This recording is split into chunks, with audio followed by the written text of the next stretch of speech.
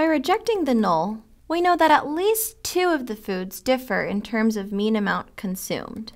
But we don't know which ones differ. We can see that all three of the means differ from each other, but we don't know if these differences are due to sampling error. Therefore, we need to do additional testing to see which means are different. This additional testing is called multiple comparison tests. So we're able to compare all of the means with each other. We wouldn't do a multiple comparison test until after we've done ANOVA. One of the most common multiple comparison tests is called Tukey's HSD, which stands for Honestly Significant Difference. It's named after John Tukey, a very influential statistician. Tukey's HSD evaluates the significance of the difference between any two group means.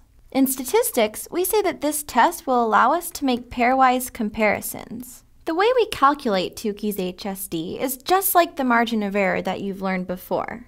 Remember that with the z-test, it was the z-critical value, denoted z star, times the standard error.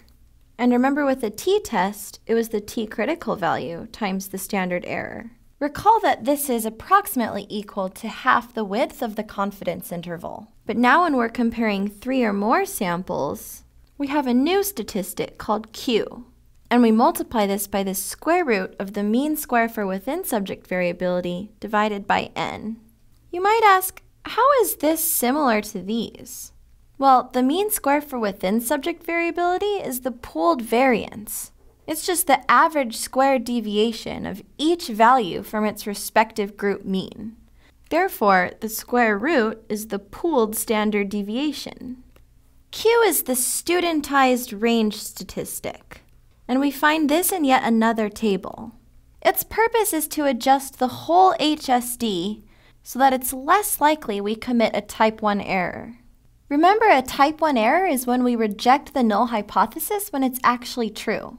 Since Q increases when there are more groups that we're comparing, it makes it less likely to commit a type 1 error. Remember that if a sample mean was further away from the population mean than the margin of error, it was considered unlikely? Well, if two sample means are further apart than the Tukey's HSD, then that's considered honestly significantly different.